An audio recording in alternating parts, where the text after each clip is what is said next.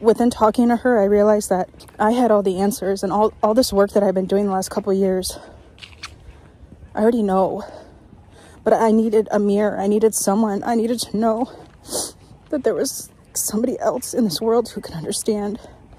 And she really helped me understand how to deal with my own energy when it's intertwined with other people.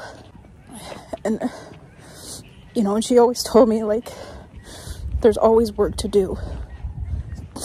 There's always work to do. And, like, in the manifesting community, we want to say, like, there should be effortless and there's no work, but there's always work to do in this life.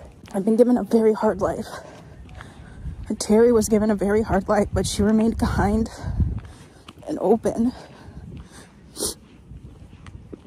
But th there were certain boundaries she had to set with people. There's people she had to cut off. I really needed to hear that from her and to know that that was okay because I've just been manipulated, believe that that's wrong. And there's still that those thoughts within me that that's wrong, especially since I am more open than I've ever been. Do you see any snot yet?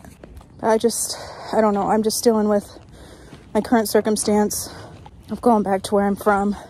But I've worked so hard to, to be this peaceful and to be out here. And, you know, and to meet Terry, who lived in the Pacific Northwest like me and, and had everything that I, I've been dreaming of.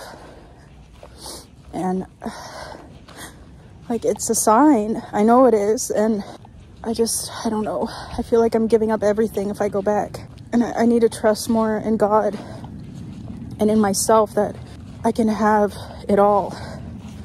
And it, it's going to happen. It's going to happen. It is happening. It just might not be in the the time frame or the way that I want it to be, but sorry, I feel like I can't talk because of